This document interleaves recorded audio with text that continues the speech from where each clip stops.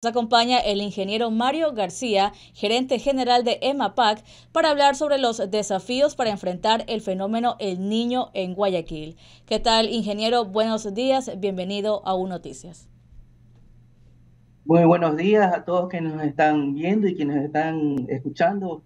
Un fraterno saludo. ¿no?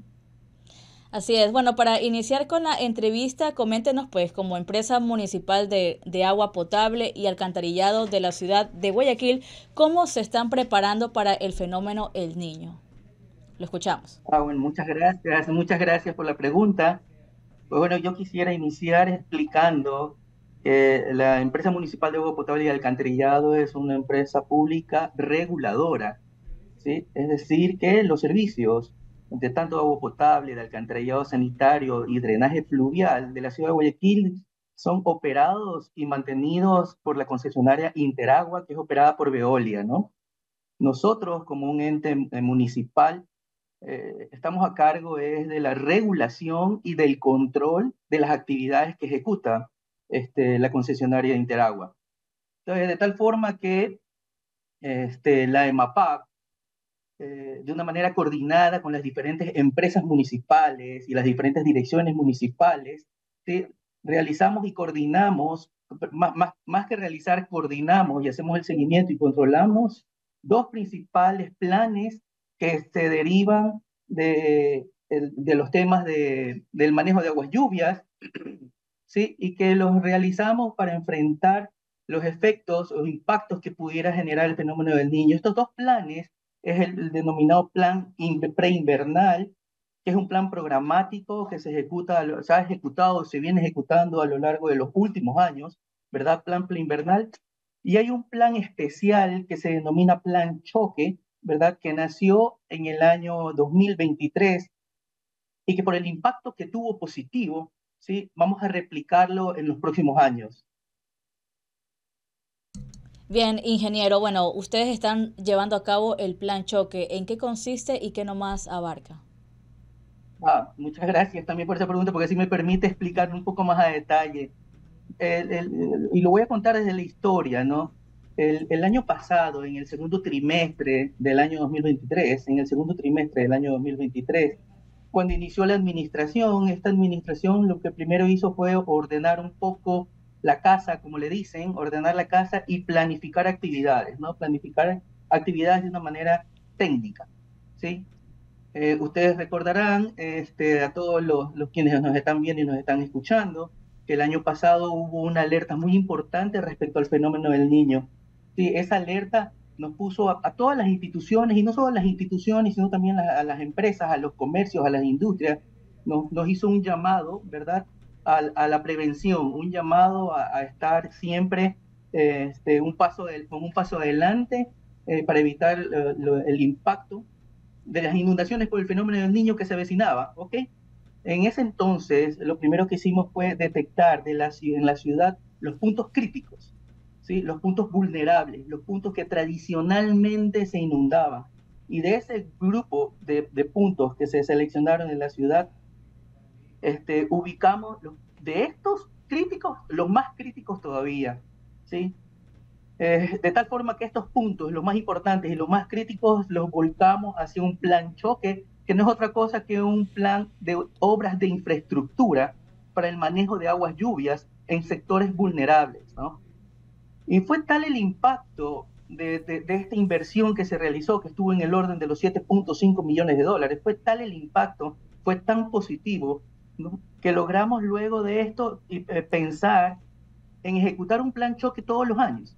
¿sí? Es decir, que en el año 2024, hoy estamos ya bosquejando un plan choque, ¿sí? y estamos pensando ya en invertir alrededor de 5 o 6 millones de dólares, algo muy parecido al año pasado, invertir en obras en puntos principales de la ciudad para evitar esas grandes inundaciones que tradicionalmente, esos sectores que tradicionalmente se inundaban en épocas de lluvia.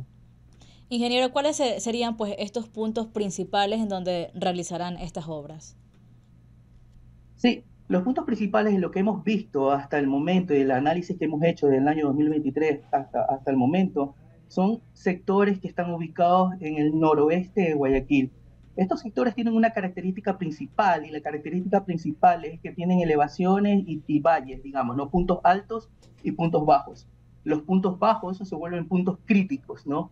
Si a esta situación le sumamos las características del entorno, ¿verdad? Eh, digamos que eh, sectores un poco desordenados, eh, sectores que, aún no ha llegado este, la, la, pavimentación, que está en planificación todavía, ¿no? Todos estos factores se interrelacionan y generan puntos vulnerables y puntos críticos, ¿no?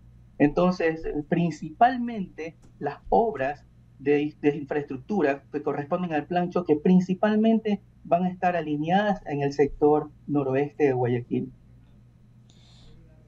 Bien, ingeniero, eh, bueno, aparte de, de, estos planes que usted indica, ¿qué otras actividades, mecanismos se van a implementar o ya se están implementando frente al fenómeno del niño? Ok, como lo mencionaba, es importante destacar el hecho del, del, otro plan. Si ustedes recuerdan, hablé de dos planes, el plan choque y del plan preinvernal, ¿no? Preinvernal, que como les mencionaba es un plan programático año tras año, ¿no? Eh, me gustaría referirme a este plan preinvernal, que no es otra cosa que el mantenimiento y la limpieza de un sinnúmero de canales a lo largo y ancho de toda la ciudad, de tal manera que los, los sistemas queden expeditos para poder cumplir con su función de transportar lo más rápido posible las aguas lluvias y evitar las inundaciones. ¿sí? Eh, eh, este plan ah, normalmente inicia, este año también va a ser de esta forma, normalmente inicia en octubre, ¿verdad? Y toma octubre, noviembre, diciembre y parte de enero para realizar todas estas actividades de, limpieza de los canales, ¿no? Y un punto que me, permito también detallar en este aspecto es que no solo la limpieza de los canales, se refiere a la limpieza de la maleza y las áreas verdes que crecen en los taludes de los canales, un tema importante y, vale la oportunidad para hacer un llamado a la ciudadanía. Un punto importante es la corresponsabilidad. El tema del, manejo de aguas lluvias y del mantenimiento de los canales es, un tema compartido, es una responsabilidad compartida, ¿no? Y esto lo menciono porque voy a hacer referencia a un, a un caso del canal de las orquídeas, ¿no? El canal de las orquídeas eh, en el plan invernal le damos mantenimiento, pero a este canal, por la cantidad de basura que llega en este canal, tenemos que darle mantenimiento cada dos y tres meses. Entonces, eh, y en cada ocasión estamos desalojando un aproximado de 50 toneladas de, de basura, ¿no? Entonces, quiero hacer un llamado a la, a la ciudadanía de tal manera que compartan con nosotros esa responsabilidad de mantener los sistemas, ¿no? Los, desechos sólidos en sus lugares de desechos sólidos y no descartarlos en los canales, ¿no? Siempre este, este, este hecho de arrojar basura en sistemas de, drenaje, finalmente lo que va a terminar es en un taponamiento o en una obstrucción de la capacidad hidráulica que tienen los canales. Y esto a su vez se revierte en inundaciones porque pues, las aguas lluvias no pueden drenar como deberían de drenar, ¿no? Entonces, de esta manera, insisto, pues para el tema de, en general de todos los sistemas de agua y saneamiento, hay una corresponsabilidad, ¿no? Nosotros regulamos las operaciones del concesionario, el concesionario es responsable de operar y mantener los sistemas, pero la ciudadanía también tiene una corresponsabilidad y tiene la corresponsabilidad de utilizar de una manera racional los servicios, ¿no? Bien, ingeniero, este, dicho esto, ¿ustedes de pronto poseen algún tipo de información que les permita conocer la calidad del agua y, medir los niveles de contaminación?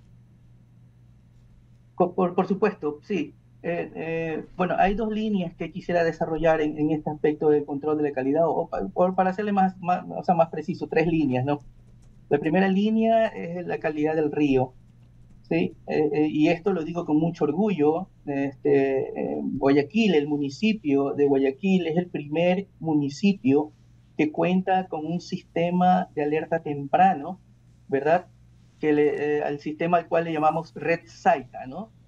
Que SAICA significa Sistema Automático de Información de Calidad de Agua, SAICA, ¿no? Siete puntos a lo largo no solo del río Guayas y Dable, sino a lo largo de toda la cuenca del Daule, toda la cuenca de Daule, ¿no? Siete puntos, alrededor de, un, control alrededor de 200 kilómetros de longitud, ¿verdad?